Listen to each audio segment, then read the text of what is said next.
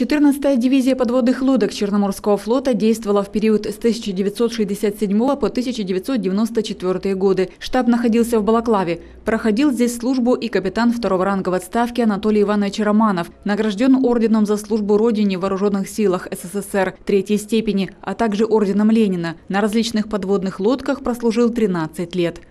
Несли боевую службу под Босфором, в Средиземное море ходил два раза в Средиземном море на боевую службу. Переходили на Балтику, с Балтики снова в Средиземное море. В Средиземное море несли снова боевую службу, потом возвращались в Севастополь, в Балаклаву. В начале торжественного собрания показали фильм о том, как создавалась и какие задачи выполняла 14-я дивизия подводных лодок все 50 лет. Витязи морских глубин неоднократно добивались высоких результатов в состязаниях на первенство военно-морского флота Союза СССР.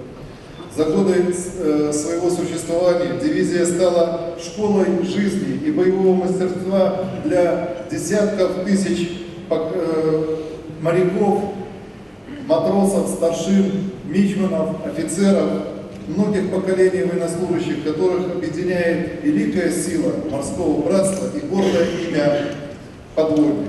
Выражаю слова огромной благодарности за то, что военнослужащие 14-й дивизии подводных лодок, вы, ветераны, присутствующие на этом собрании, сидящие в этом зале, на протяжении нескольких десятилетий сохраняли и утверждали статус России как великой морской державы.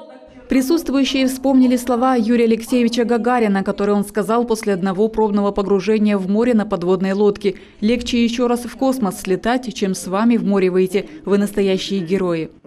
Условия, в котором вам приходилось нести боевую службу, они были тяжелее, чем для тех, кто э, поднимался в космос, потому что от каждого зависело не только выполнение боевой задачи, но и жизнь всех остальных членов экипажа. Мы помним, что еще во время русско-японской войны впервые был применен подводный флот. А, он был создан по указу Николая II.